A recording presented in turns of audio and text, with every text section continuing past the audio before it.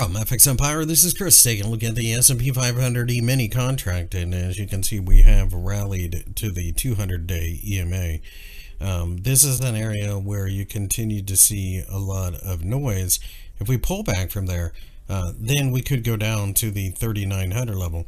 The um, market breaking above here could open up the possibility of 4100, but really at this point, uh, the 200-day EMA I think is more likely than not going to cause a little bit of hesitation. Keep in mind that a lot of this is based on speculation that the Fed is suddenly going to change its stripes, which they keep telling the market they're not going to. So I think sooner or later they have to listen.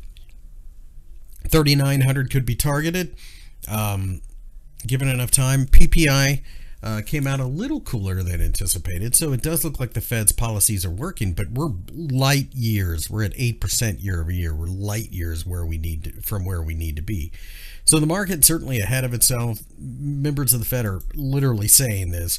Um, you know, give it some time. It more likely than not will um, come back to reality. But right now, it's a matter of looking for that sign to sell off. This shooting star from the Monday session, had we broken below it, might have been a signal. Uh, but we don't have that quite yet.